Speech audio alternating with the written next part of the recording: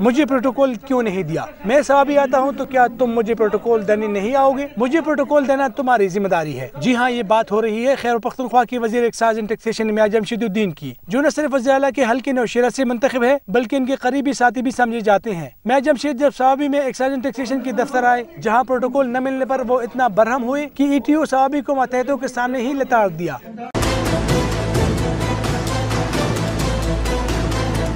دا غلې په دې غاب جګړې په سي یا کوم مقصد دا کوي چې کومه به عزت کوي مې به عزت کوم دا ته چې ما به عزت کوي ته ځم به عزت کوي ته ځم کومه به عزت کوي نه خبره په دې کې سم سم کوم سم او ته چې ما عزت کوم دا عزت به څه کوم تفهم فترت سكندري وهذا خبر عن تفوز ولا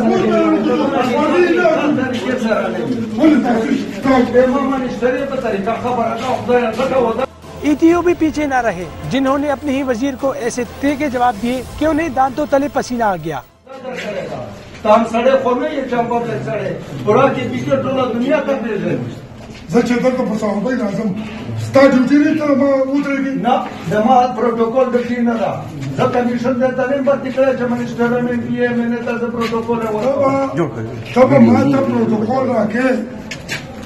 یار په قانون کې دا نه دي لیکلي زبرتا ته پروتوکول درکاوم ویڈیو وائرل ہونے پر پی ٹی آئی کے ایم پی ایس شوکت یوسف زی بھی اپنی پارٹی کے وزیر کی حمایت میں نکل آئے۔ یہ کوئی پروٹوکول تو نہیں ہے تو ہمارے اخلاقی وہ بھی ہے کہ کوئی بڑا آ جائے تو چھوٹا اس کے لیے اٹھ جاتا ہے۔ تو میرے خیال سے اگر ایک منسٹر کے لیے ایک اے ٹی او اٹھنے سے بھی انکار کرتا ہے اپنے آفس میں جانے کا تو وہ آفس تو سرکار کا ہے۔